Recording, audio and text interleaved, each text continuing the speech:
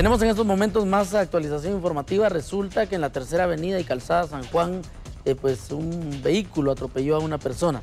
Es la información que nos traslada Pablo Morales, gerente de Mixtra, que nos da a conocer esta noticia.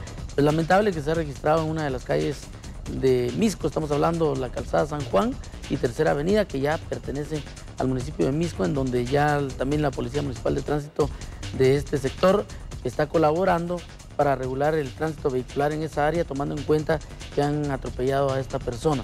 Ya la Policía Municipal de Tránsito entonces realizando todos los trámites correspondientes y llamando también a la Policía Nacional Civil y a los cuerpos de socorro, por supuesto, para darle la atención paramédica y ver si es necesario trasladarla a un centro asistencial. De momento lo que se conoce entonces por parte de Pablo Morales, gerente de Mixtra, es que una persona ha sido atropellada en la tercera avenida Calzada San Juan. Lo que nos indica el Twitter es eh, Policía Municipal de Tránsito apoyando en conjunto con una unidad de emergencia en ese sector. Así que ya lo sabe, si va a conducir por esta área, pues hay cierto congestionamiento porque atropellaron a una persona. Esta es la información. Vamos ahora de inmediato pues a la pausa comercial. Regresamos enseguida con todos ustedes.